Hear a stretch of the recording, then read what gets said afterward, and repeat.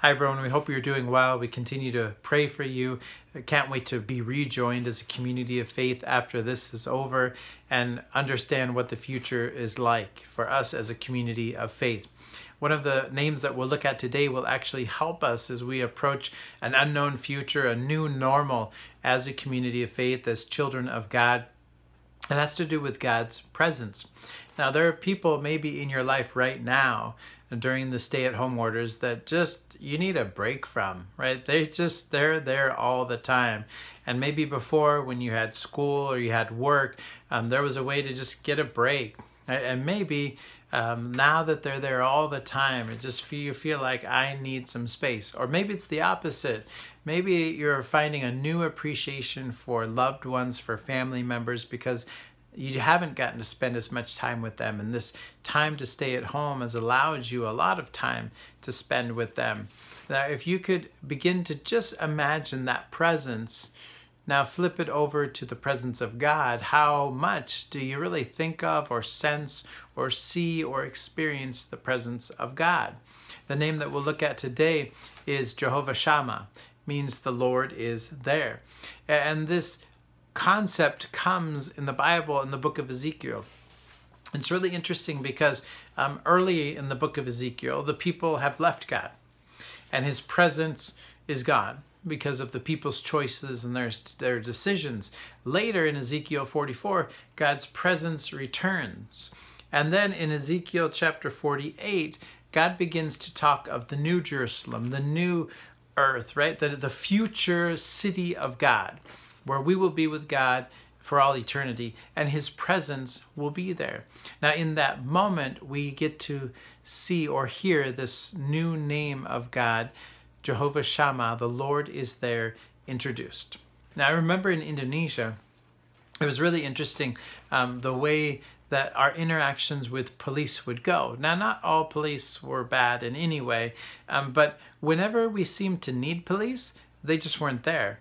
And whenever I seemed to make a mistake driving, they were always there. Right? There are different rules of the road in Indonesia, different different ways to drive, different ways to turn, and, and oftentimes there weren't signs that directed you how to do certain things.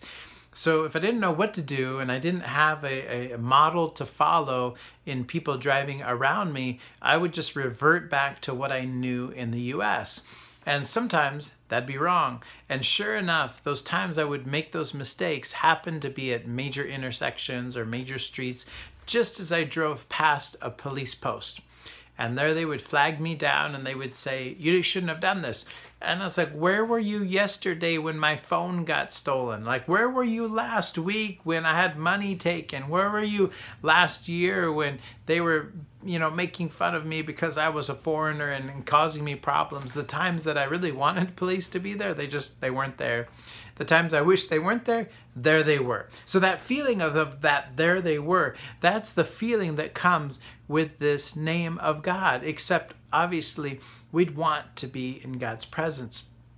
But it would be not now, right? Because there are times I'm sure you don't feel God's presence. You don't sense God's presence, but you'd want to.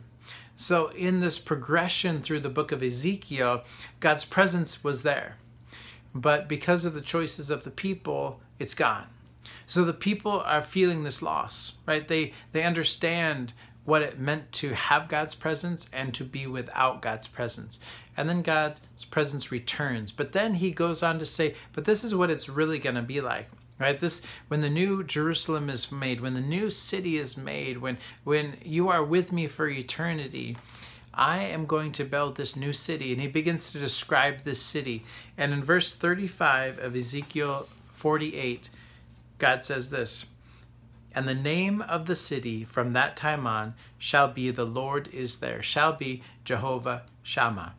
Because it will be like that person you're in quarantine with, that person you're in the stay at home order with. They're just always there.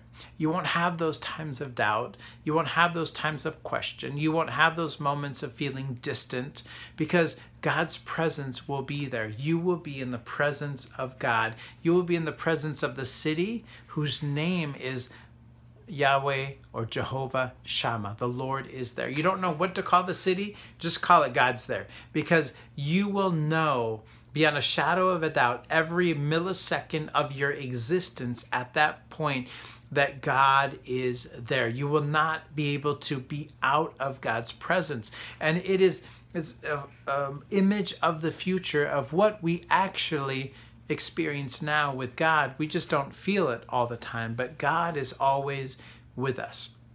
This is the moment where we'll know that beyond a shadow of a doubt. So, if we look forward to that, it also should help us be encouraged now that God has not left us, right? That whether you are staying at home and loving it, God is with you. If you are staying at home and hating it, God is with you. If you are in difficult times financially, God is with you. If you're actually doing great financially, God is with you. If you get coronavirus, God is with you. And if you don't, God is with you because God is always there. He's Jehovah Shammah. And that's the point of this name that you will never be able to escape God if you are his child because you are a part of his family. It's similar to what Jesus alluded to at the end of Matthew 28, before he left to go back up to the throne of, of king, the kingdom of heaven.